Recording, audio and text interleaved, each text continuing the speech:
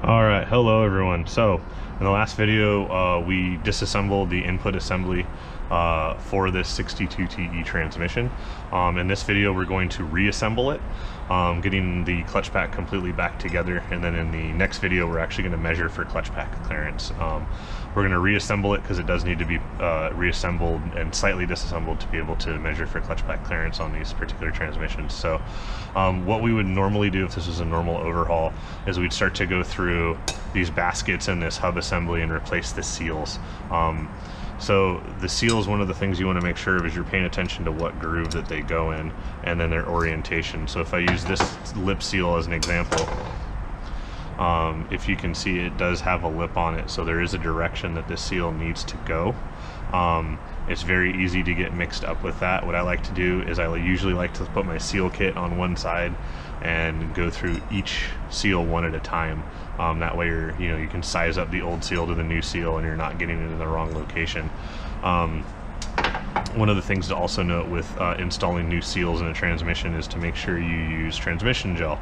Uh, so this is a um, a, a, gel that's used for installation of um, different seals and bearings and retainers in a transmission. It melts at very low temperature um, and is and is okay for most ATFs. Again, you want to check with the manufacturer before you start using that, um, especially if it's a ZF-based transmission. Um, but it's it's basically petroleum jelly. Um, they can come in different dyes. Uh, you know, either gold, red, or blue. Um, it kind of doesn't matter. Just make sure you're getting one that's acceptable for uh, what that manufacturer calls for. So I want to note too that yeah, I'm not cleaning any of these components out. This transmission is going back to be remanufactured due to um, a worn bushing and some planetary issues potentially in the back. Um, so we're just going to reassemble it um, as it is because it, it is a dead transmission as it were. So we don't want to, we're just taking it apart and inspecting it for uh, um, video reasons. Um, so what we're going to do is we're going to put the seal back in. So this is an example of what you're going to want to do. This one needs to go in its top groove and you want to start to feed the seal in all the way around while also holding where you've been um, that way the seal doesn't want to pop out. You can chase these around the drum real, real easily um, and, and, not be able to get them in. When you get to this point, usually it's a good idea to uh, kind of have it up and I pop it in with my index fingers and then you're good to go there. And then what I usually do is a little bit of trans gel to go around, lubricate the seal. What this will allow is this will allow the baskets um, that have seals to, to drop into them nicely um, and not potentially roll the seal out of its bore or, um, or cause it to get cut.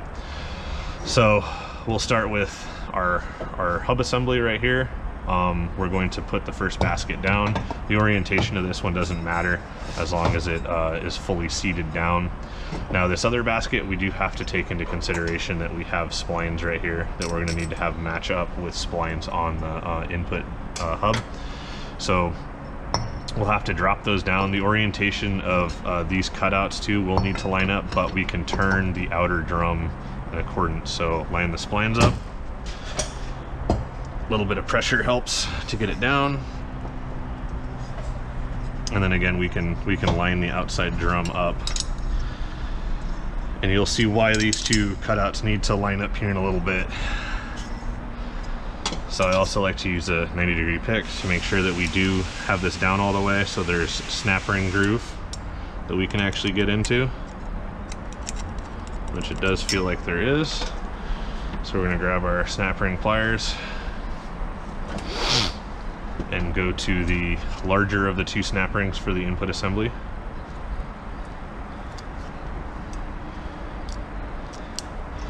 Usually it's best to go with these machine cutouts to be able to get these down in.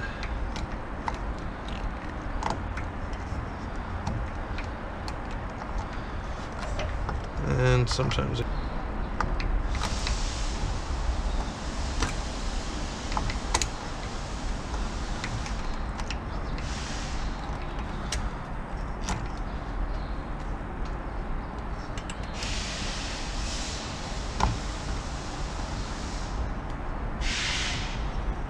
There we go.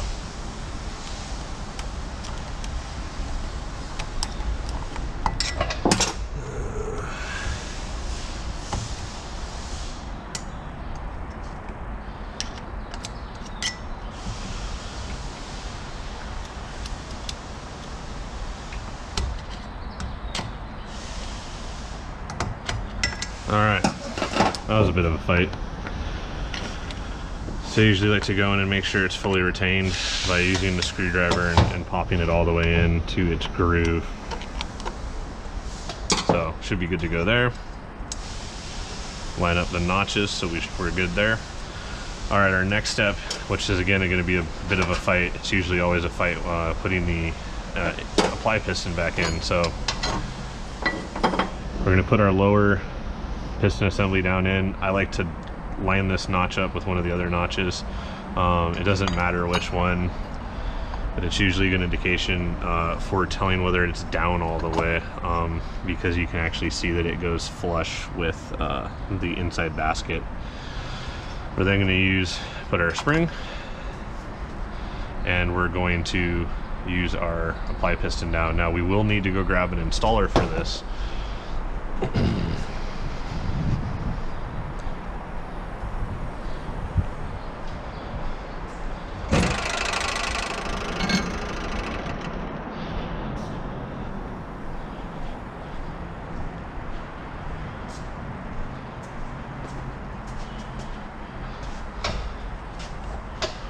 All right, so this is our piston installer.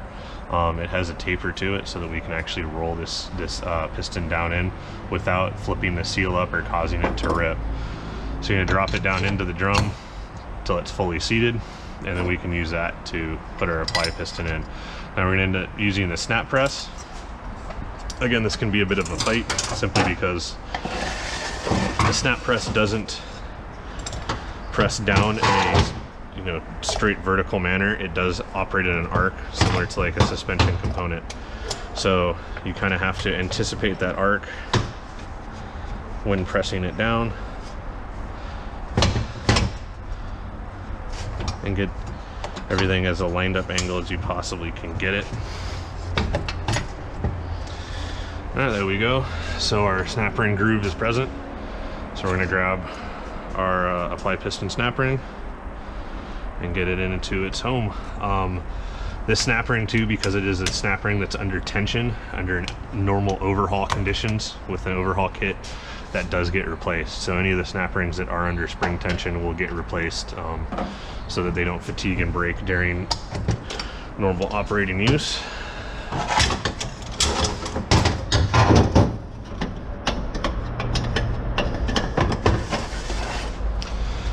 All right, so now we can remove our piston installer. And we're left with uh, the baskets assembled to the hub assembly with the apply piston in. We want to look and make sure that it hasn't rolled up anywhere just in case. Um, again, the transmission gel is normal. It's not going to hurt anything. So we're good to go there. So now what we're going to do is we're going to start to reassemble our clutch pack. Now again, if this was a going to be an overhaul, what I tend to like to do is I like to pre-soak all of the clutch discs for 20 minutes in clean ATF. What that does is that um, gets ATF dug into the clutch pack so that when you start it up fresh um, and brand new and you start to back out and drive, uh, these clutches aren't going to shear um, due to not absorbing any uh, ATF. So it's always a good idea to make sure you pre-soak all of these clutches uh, prior to uh, putting them into the assembly. So we're going to start with our first underdriven hub. The underdriven hub I like to put in first, that way we can actually line up the clutch discs that spline to it um, and the steels will line up. We don't have to fight it going back in. Um, so usually it's a good good practice to make sure everything's spinning nice and free and uh, fully seated down. So in this case, we're going to start with a steel plate first. Again, we're splining to the basket, dropping it down. Then we're doing a clutch disc, followed by another steel, and clutch, so on and so forth.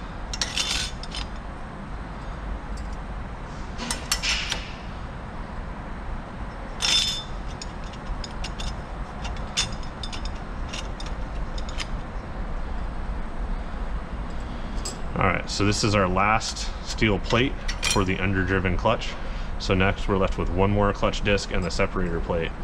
What I like to do is I like to get the snap ring in first. And again, we're, we're trying to get this snap ring down into the bottom groove. Um, it's important to note that the separator plate is separated between two snap rings and there is a difference between the two. So the factory has noted it with different style edges.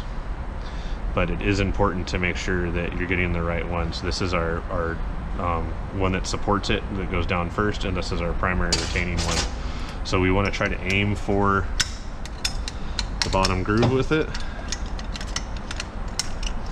and then just kind of turn it around utilizing a screwdriver to get it to snap all the way down. Again, trying to avoid having your hands in the, in the assembly um, usually prevents you from getting cut. So we have that in a groove. We're gonna do our last clutch disc, make sure it splines to the hub. And then the separator plate, again, paying attention to how it goes in because we have it stacked in the reverse order that it came out. We know that we're pretty good there. Um, you can actually see where the snap ring groove is. If you had it upside down it wouldn't you'd, you'd have a fight getting the snap ring in. They will go in. I've done it before. Trust me I've, I've made that mistake but you want to make sure that uh, you're getting the orientation correctly. Another trick I like to do if for whatever reason you have to like pause this overhaul or anything. Um, I take a zip tie and zip tie the assemblies together. That way you don't have any coworkers that are curious coming grabbing stuff and getting stuff out of order and the zip tie at least will, will retain it um, if it needs to sit for a little bit of time. All right so now we're gonna get our overdrive hub. Again making sure that our thrust washers and bearings are, are all good to go. Dropping it down and making sure it spins smoothly so we're good there. And we can start with uh, clutch disc for our overdrive and steel plate and so on and so forth just like our underdrive clutch pack.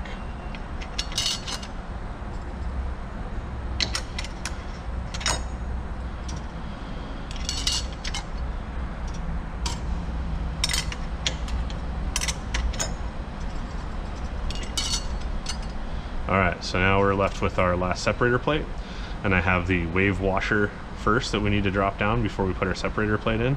Um, now it's really important, because I've made this mistake before, to get the wave, I don't know if you can see that on the on the screen, but there is a tiny lip that this wave washer fits on. You can get it to drop down lower into this outer basket. The problem with that is, is then it's not supporting this separator plate for underdrive, and what can happen is because this won't be supported, it'll chatter around and eventually break these spokes off.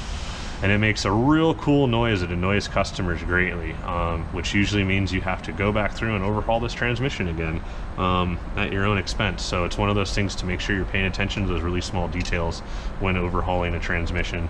Um, and that's any transmission to make sure you're not making that mistake. Um, again, we want to make sure that we're getting these uh, little dimple dots going down this is also too why it was important that we lined up these two notches is so that this separator plate uh, is is down in in between the two baskets. So this is going to be our snap ring to retain this underdriven separator plate. Um, we're going. What I like to do because it is slightly sprung due to that wave spring is I like to use a screwdriver to kind of retain it into the groove as I go around and feed it in. That way it doesn't snap back out of here and you're not just chasing it around the, the drum assembly.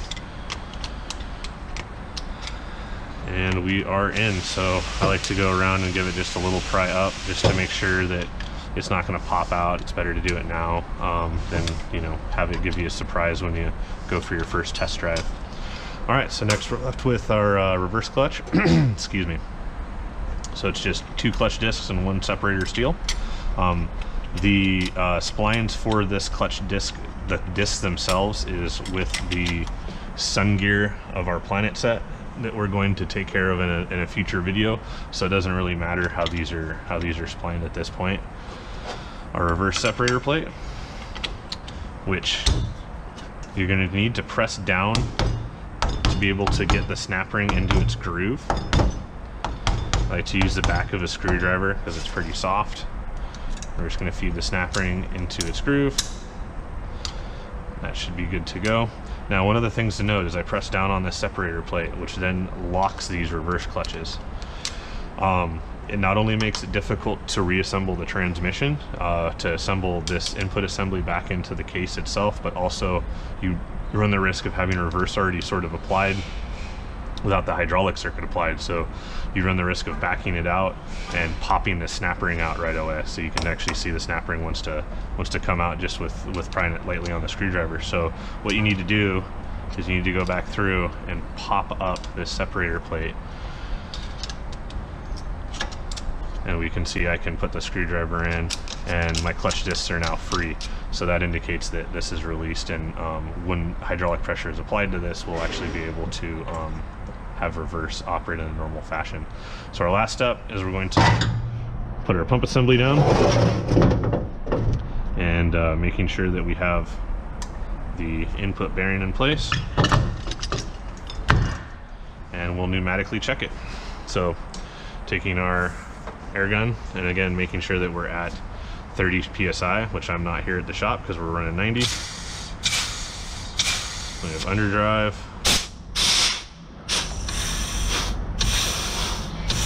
overdrive and then last reverse. So that is a successful overhaul of this input assembly. So what we'll tackle in the next video is actually measuring the clutch pack clearances uh, with a dial indicator. Um, you normally need to do that if uh, you have a rebuild that's uh, really, really far out or you're starting with new uh, baskets or a hub assembly to make sure that you get the clutch clearance correct. So we'll do that in the next video and then we'll start tackling the braking clutches, the valve body, and the uh, compounder assembly uh, from the case. So appreciate you all watching and uh, we'll see you in the next video.